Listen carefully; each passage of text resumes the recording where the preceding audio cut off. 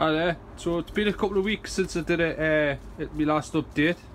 I've been quite busy with work, so I haven't really had time to do a lot. But um, having said that, I've got the majority of my leeks that I'm growing this year.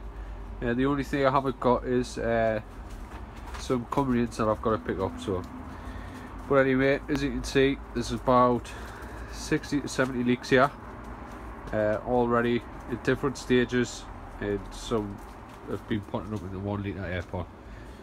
So this year, uh, on the back of last year, with the air pot, I grew quite a bit in air pot last year. And this year I'm gonna, I think I'm gonna fully adapt it. I've got quite a few air pots to go at, so um, we'll see as the coming year, coming year goes. So I've got some Cumbrians, um, some Yorkshire Giants from Paul Rochester and some from Jeff Musgrove.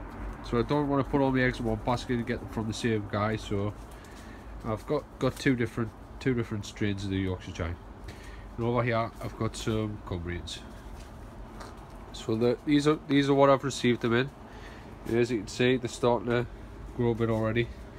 And some of them have now been potted up into into a one litre air pot. Um, in the air pot, the grown grown medium I'm using is um, Levens M2 Levens M2 yeah I'm just reading off the bag there.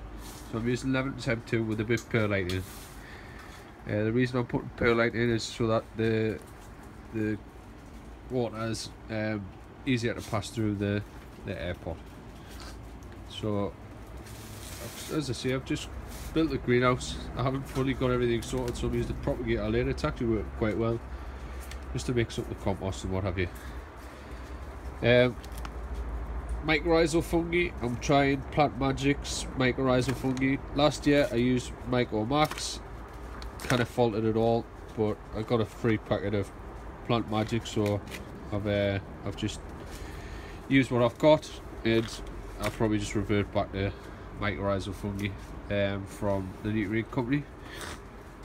Uh, above the um, Yorkshire Giants, I've got a a two foot T5 grow light. Um, today I'm going to be picking up some uh, Sunblaster T5 strip lights. And They'll attach onto the Keder greenhouse onto the top there.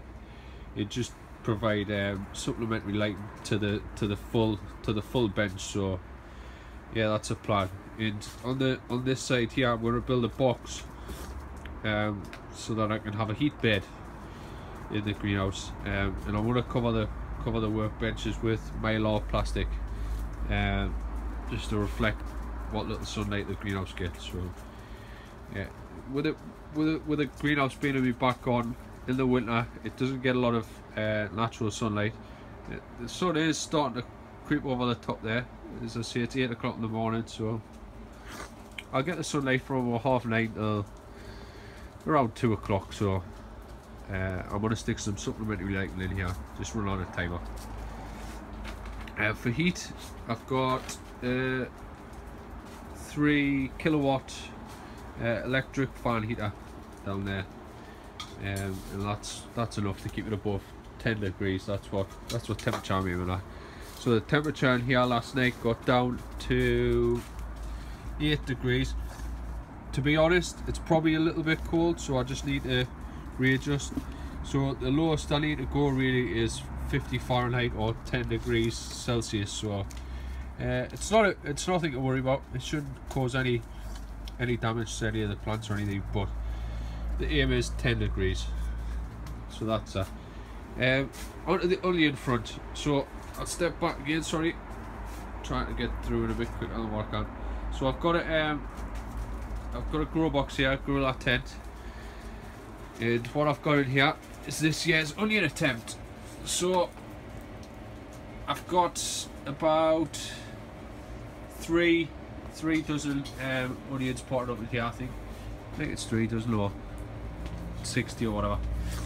Um, so the idea with the straws here is just to break it up into three um, three different strains of the giant onion and the the um, straws are just colour coded so that I know who's whose and I've got it written down.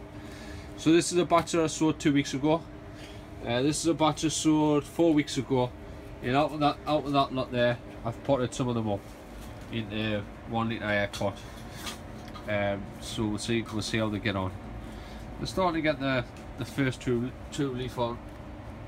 They're a bit behind where I want them to be, but it's always the case. You always want them a bit bigger than what you've got. Um, as far as grow lights go this year, I have got a Maxibright 315 daylight, and that light is the closest thing that you can get to sunlight. Um, so I've been told, and the reviews from it are fantastic, and also I've seen the proof in the pudding off them, and they do grow big onions. So now I've also got a T5 T5 four tube strip light in there, uh, just just above the um, the seedlings there. So that's uh, that's a bit of a quick update for the new greenhouse, and um, I hopefully should be popping a few more videos out over the next couple of weeks. So that's it. Thanks for watching.